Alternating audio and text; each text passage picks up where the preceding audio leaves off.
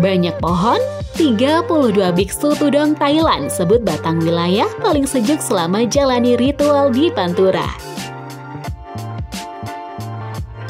Rombongan 32 biksu Tudong Thailand merasakan kesejukan saat melintas di wilayah Kabupaten Batang, Jumat 26 Mei 2023, sehingga mereka tidak merasakan kepanasan seperti wilayah Pantura lainnya.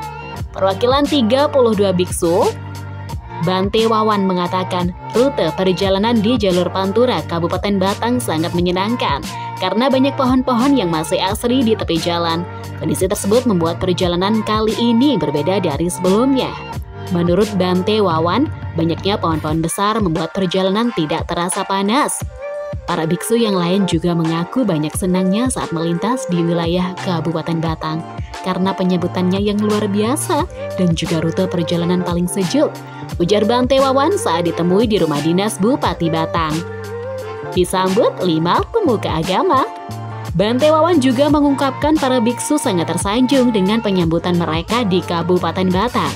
Bahkan para biksu mengatakan sangat luar biasa Selain disambut langsung PJ Bupati Batang Lani Dwi Rejeki, kedatangan 32 biksu tudong juga disambut lima pemuka agama di Kabupaten Batang.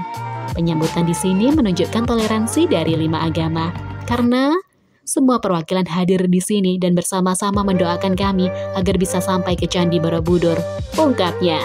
Tak lupa pada biksu tersebut juga mendoakan agar Kabupaten Batang bisa menjadi daerah yang maju dan berkembang, utamanya dengan toleransi agamanya yang sangat bagus sekali. Sepanjang perjalanan wilayah Batang banyak pohon di tepi jalan, sehingga perjalanannya menjadi sejuk dan untuk perjalanan paling berat yaitu melewati rute Semarang ke Candi Borobudur yang memang membutuhkan fisik prima. Tandas Bante Wawan lagi. PJ Bupati Batang juga mengajak para biksu sarapan atau makan pagi dengan makanan khas daerahnya.